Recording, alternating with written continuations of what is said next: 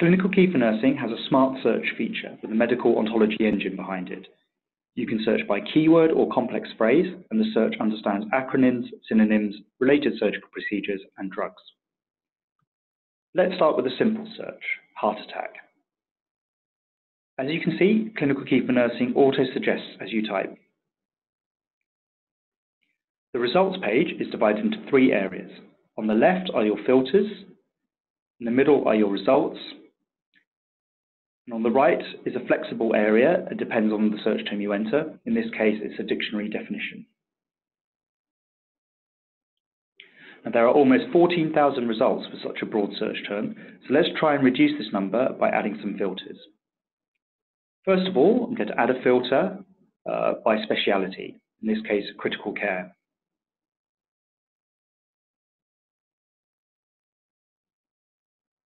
I'm now also going to limit results to content published in the last six months. As you can see, the number of results is now much more manageable at 28. It is also worth pointing out that just underneath the first set of search results, a related searches box is present, in case these are more relevant to what you are looking for. ClinicalKey can also accept complex searches or questions in natural language. For example, you might be interested in articles relating to patient deterioration in the ICU. The first thing to note is that ICU is an ambiguous term, so we are asked to clarify exactly what we mean. Once confirmed, you will see that there are still quite a number of results. So rather than using filters this time, you might want to refine your search and be more specific. So therefore, I'm going to search for strategies dealing with patient deterioration in the intensive care unit. Now, looking through the results, you might decide that this result from a book chapter is relevant, so I will click on it. The book chapter opens and jumps to the relevant section in the text. ClinicalKey for Nursing displays text and images optimized for on-screen viewing. The text will automatically adjust depending on your screen size and device you're viewing.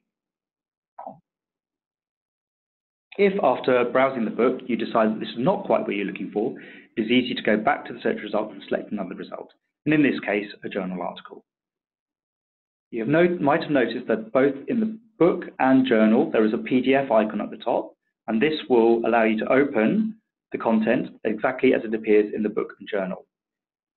Clicking on the icon opens the PDF, and you are free to print this off or save it to your computer as a personal copy for later viewing.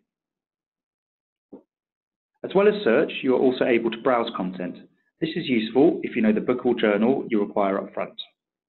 For example, from the ClinicalKey for Nursing homepage, if you click on Browse Books, you will get an alphabetical list of all the books in ClinicalKey for Nursing. You can search or filter by typing in a few letters of the book title here, and in this case, Potter and Perry's Fundamentals of Nursing. The table of contents opens, and you are able to select the chapter of interest to open as a full text.